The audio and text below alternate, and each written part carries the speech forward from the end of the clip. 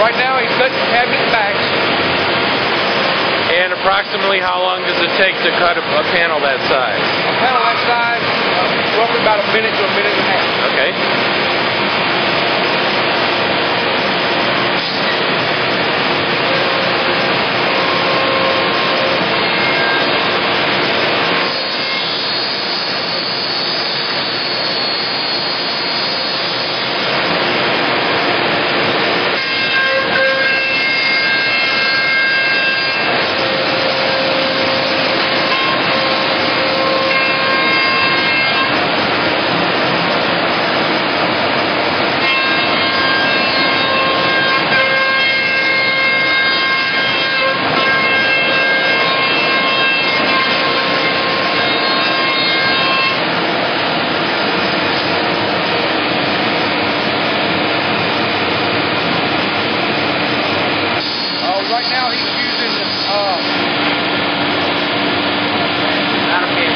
Router CAD.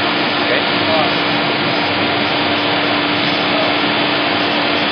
to help him get all the parts more organized, uh, nested up properly.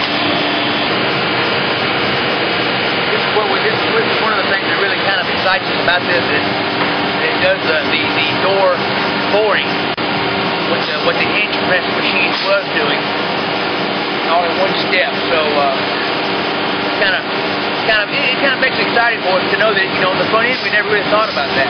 You know, we just thought about cutting squares out. We used to have so much waste, the old way, you know, with the sliding saw. And with this, it seems like it's just ever, I mean, it's ever so minimal. We used to have a whole lot of stuff cleaned up against the wall, you know, off ball, Yep. where now it maximizes, you know, and it's, I haven't been able to calculate the savings on that yet, but I mean, I, uh, it has to be a pretty fair amount, I would think.